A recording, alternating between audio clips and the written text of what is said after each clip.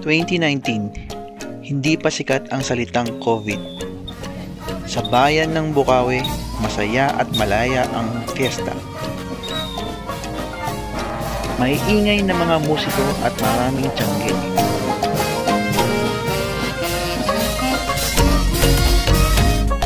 Mga tao na nakikipagbasaan habang lumiligid ang pagoda. Ang saya. 2022, balikan natin ang Bukawi at ang pagoda matapos ang pandemya.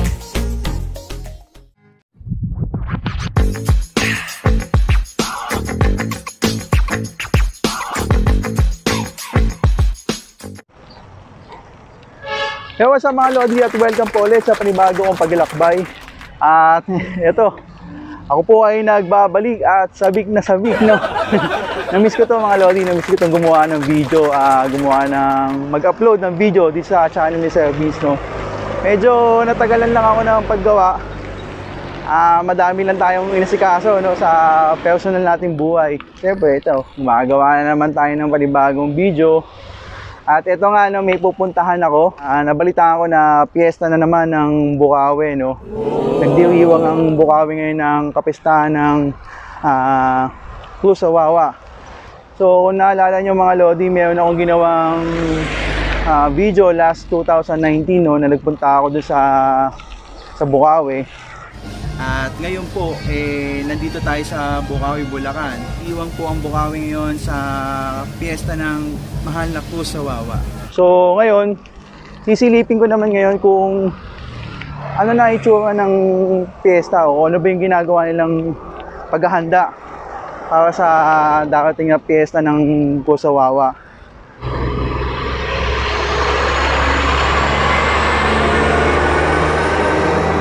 Ba't nadaan ako? Daming, daming sasakyan. So, wala na masyadong kuda. Simulan na natin to. Let's go!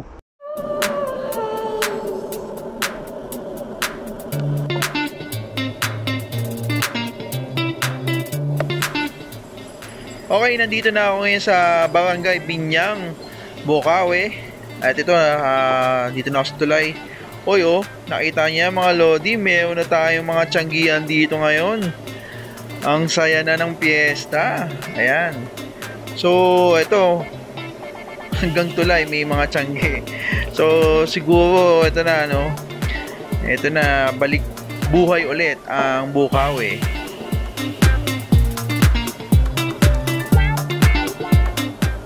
So ito nakikita nyo naman ang dami ng tao tanghaling tapat yan mga lodi at ito iikot lang muna ako sa likod ng simbahan. Ah, doon ah, doon muna ako mamahinga. At syempre gagawa tayo doon ng konting video sa loob ng simbahan. Okay let's go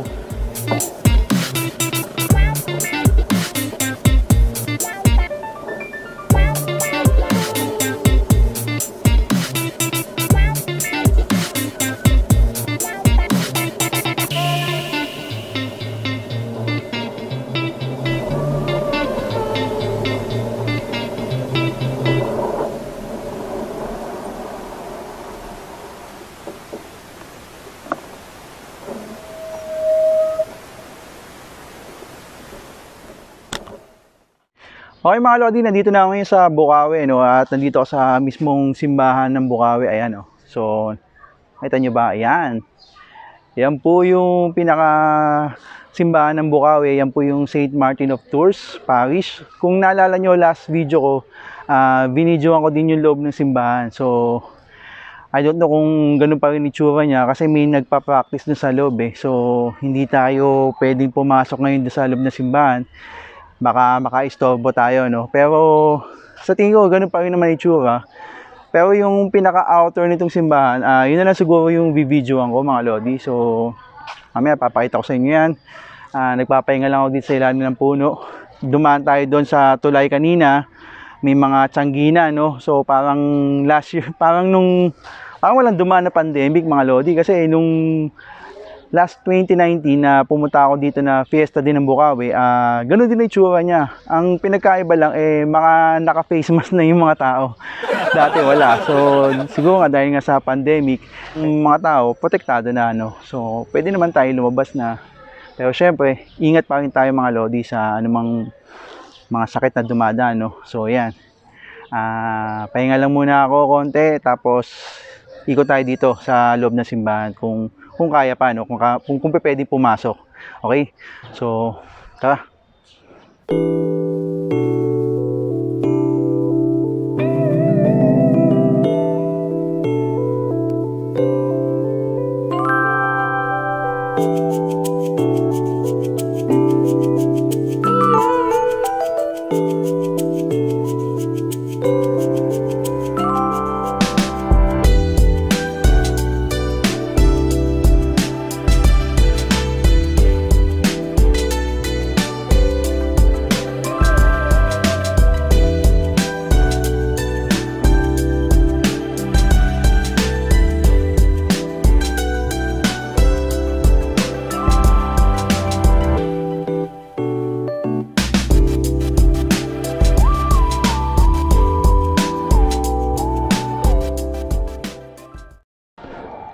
So okay mga Lodi, nandito ako sa loob ng simbahan, sa gilid lang no. Ah, actually, parang sakop na rin ng simbahan yan. Ayan no. So ito, may ginagawa silang stage dito at may konting event siguro bukas. O kasi nga, PS na nga bukas eh. Kaya malamang may event yan. So ito mga Lodi, ah, ikot-ikot muna ako dito. Ganda, laki ng pagbabago dito mga Lodi. Okay, labas na ako dito ngayon sa simbahan at pupunta na ngayon ako sa tulay. May nabalitaan kasi ako ngayon doon na may activity na nagaganap sa may ilog. So, yan. Saan ba? Dito. Dito tayo. So, mayroong activity. ah, check natin yan mga Lodi. Okay, tara, let's go.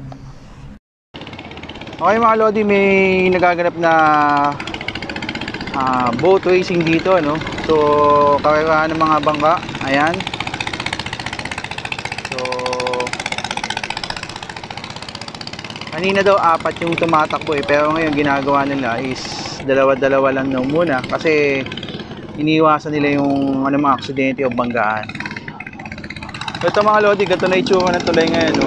So ito, ah, nilagyan na additional na tulay dito. Before, ito lang yung tulay eh. Yun lang yung tulay dati. Ngayon meron na dito parang ah, sidewalk na malaki. Pwede tayong sumilip sa anumang kaganapan na magaganap dito sa ilog ng Bukawi. No?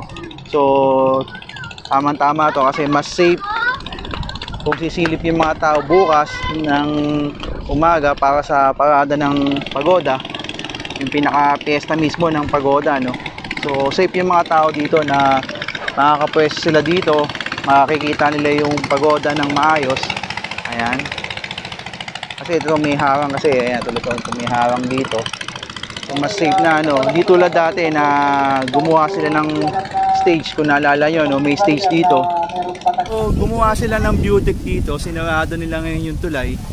Ah, wala akong pwedeng dumaan, kundi mga tao lang. At eto, ang saya nga dito. Dahil kami lang dalawa lang. So, okay.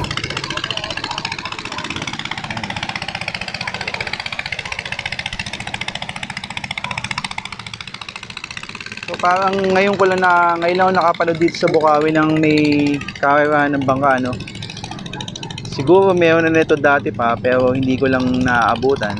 Ah, so bukas po, July 3, ah lalayag po yung pagoda na yan. Okay, bago magkarera, no, ah, dumito muna tayo sa gilid ng tulay na to. Ito, sa gilid nitong pinaka sidewalk ng tulay. Ayan. Ah, may nilagay sila dito mga lumang karatula ng pagoda, no. So ito yung mga nagdaang pagoda, yung mga ilang dekada nang lumipas. Ayan. Ito tuloy niya, pagoda 70.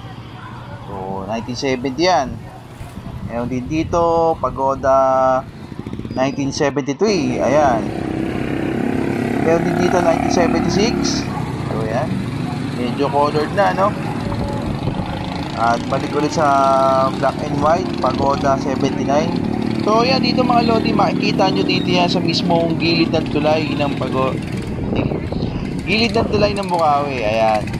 So ito, 1981. Anong taong ba yung lumubog? Hanapin natin yung mamaya. Ito, 1988. So yun oh. Maganda yung, maganda yung pagkaka-build ng pagoda. Ito, 1990. Alam ko 1990 yan yun eh. 1992 yun eh. Ah, baka ito yung pagkakasunod dito. Ito, ito, ito mga Lodi. 1992. Ito yung pagoda po na tragedy na lumubog. Yung pagoda tragedy. Ayan. At sumunod na po dito, ito na, medyo naputol po, 1997 na. So, medyo natagalan yung pag ano ulit ng pagoda. So, yan mga Lodi, ah, dami ng mga tao nakatambay dito. So, balik tayo sa... So, okay, ito na, gisimula na ulit, no? Ah, medyo maingay lang talaga yung motor ng ano, pagoda, anong pagoda. Mga bangka, kasi pangkarera yan, mabilis na talaga yan. Ayan na. Tumatot na. So, doon iikot niya sa dulong bangbang. Eto na. Ayun o. Malupit talaga tong isang to. Kanina pa nangunguna yan. Ito siya pa rin eh, no? Ito halos na eh, no? Yun na, sa pagtakbo kanina yun eh. Siya pa rin nawa ng ano. Pa. Mga Lodi, na dito na ako sa Philippine Arena, no? So nakita nyo naman, ah, kagagaling lang natin sa bayan ng Bukawi at doon, ah, nakita natin na halos ganun pa rin yung pagdiriwang ng, ng Bukawi sa piyesta ng ano, ng Kusawawa, no? So, ayun, may pagoda pa rin tayo nakita at maganda na yung pwestuhan ng tao kung manonood sila doon sa May Tulay. So, maganda na yung pwesto sa May Tulay. At ayun, madami pa rin tiyanggian. So may mga tiyanggi-tiyanggi pa rin. So di mo mawala yun kasi piyesta nga eh. So ayun mga Lodi, bukas pa yung pinaka-piyesta ng ano, ah, Kusawawa dito sa Bukawi, no. So July 3, 2022. Ayan, yan yung pinaka-araw ng piyesta ng Bukawi. Hindi, ah, hindi ko muna dito tatapusin yung video. Babalik ako bukas sa dito sa Bukawi para masaksihan talaga yung paglayag nung pagoda, no? Kasi ang nakita ko lang naman ngayon ay yung nagkakarerahan na bangka. So yung last time na pumunta ako dito, ah, yung 2019, ang nakita ko ay mga nagtatalo ng mga bata, no?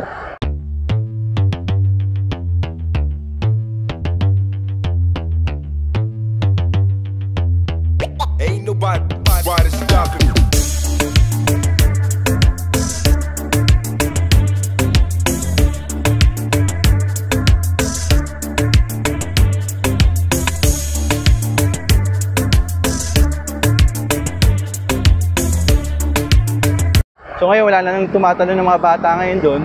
Pinagbawal na ng yun, siguro bawal na talaga kasi na, delikado naman talaga eh, no? So plano ko bumalik bukas para masaksihan yung paglayag nung pagoda, no?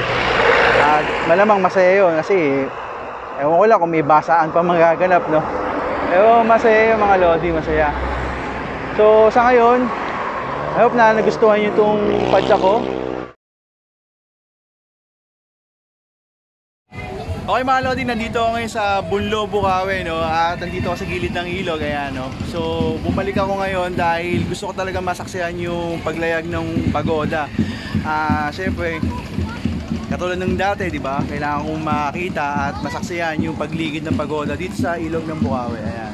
So, ito nagsisimula na pero wala pa, hindi pa dumadaan yung mismong kus ng Kusawawa, no? So, wala pa, wala pa yung pinaka main pagoda pero may mga lumiligid na po ng mga bangka ayan. So ayan nagbabasaan sila. Nagbabasa din sila mga lodi eh. at may mga naliligong bata dito. Ayan. So antabayan natin mga lodi kung yung mga ilang minuto na lang lalayag na yung pagoda okay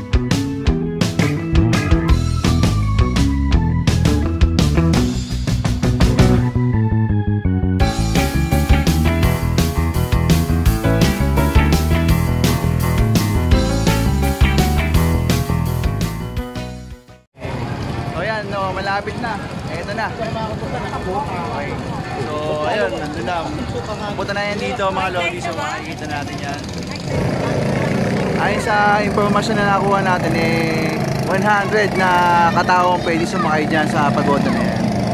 So, ayan mga Lodi. Welcome po, Pagoda 2022. Ah, may mga may mga coast guard naman po dito. Kaya no worries. Ay mga nambabasa oh. Yan yung yan yung mga team basa. Ah, yung mga tao nang babasa.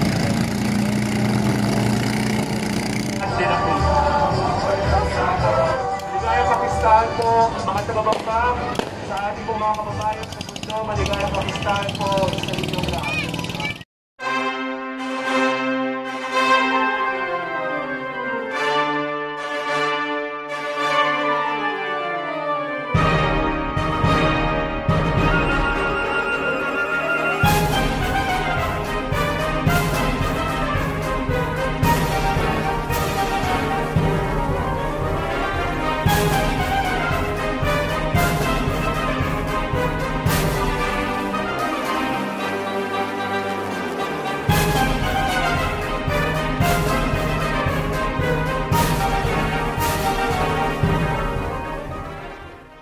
Okay mga Lodi, ah, dito ko natatapos itong video ko, no? So, bumalik na ako dito sa bahay. Pero nandito pa rin ako sa Bunlo, Bukawe, no? At yun, ah, hope na enjoy kayo sa video na to. At syempre, shoutout din sa mga pamilyang ah, Peralta, De Los Reyes, Sapian Dante. Ah, shoutout po sa inyo ah, dahil to sa location, no? Kaya sa kanila tong lugar na to. So happy fiesta po sa buong Bukawe, no? Ah, sa mahal na po sa Wawa. Happy fiesta po sa inyo. Ah, ito po ang Pagoda 2022. So mga Lodi, ah, mag-subscribe, share, at i-like tong video na to. At sa susunod ulit ng aking paglalakbay mga Lodi. Ride safe. Paalam.